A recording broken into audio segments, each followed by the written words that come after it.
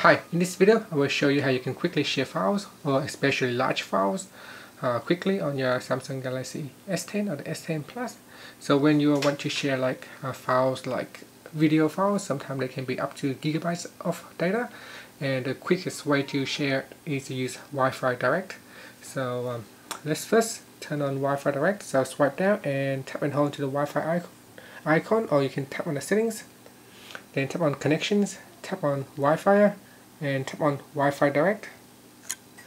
Then on the other devices, make sure you also uh, turn on Wi-Fi Direct. So the device must be uh, Wi-Fi Direct compatible for this to work.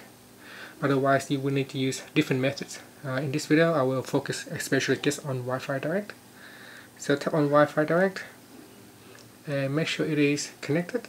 So I'm going to pair the two devices together once it is paired so go on your Samsung Galaxy S10 or the S10 Plus and launch the gallery to access the video files.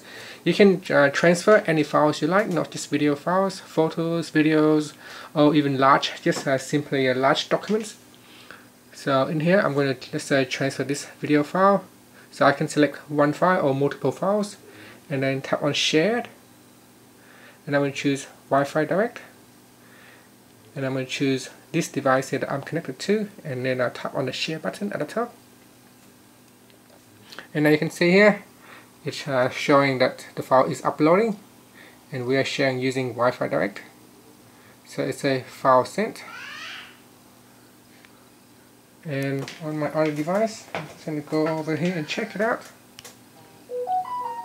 So you can see up here it said that file received and we can tap on it to open and these are the two files that has just arrived from the Samsung Galaxy S10 and that's it. So you can see I can uh, now play the files. And it's just as easy as that and very quickly as you can see. Uh, as soon as I just tap on the share button the file is already on my other phone.